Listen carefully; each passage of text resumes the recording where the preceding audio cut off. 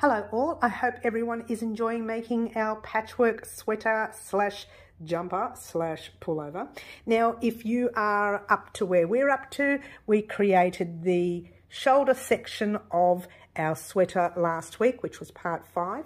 This week we're going to work on part six, which will be making the sleeves. So if you haven't started making our sweater and would like to start, head over to Wow Crochet Designs on YouTube and create your very own patchwork sweater. Good luck all.